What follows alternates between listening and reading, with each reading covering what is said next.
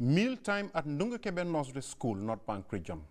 Pupils here benefit from a complete package. The force behind this scheme is the Spanish NGO, Asturies for Africa. We are here for two years ago. We have two nursery school. This is our second school. Um, we would like to help the, the kids in your education. We are paying the salaries, the food, the uniforms. The charity also funds another preschool in the North Bank village of Al Jamd, which was also constructed by Asturies for Africa.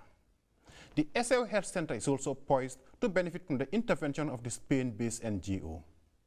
We are going to start a new project in the Health Center with the Cuban doctor and the Minister of the Health.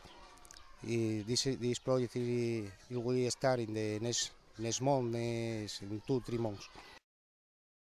Francis Mendy, GRTS.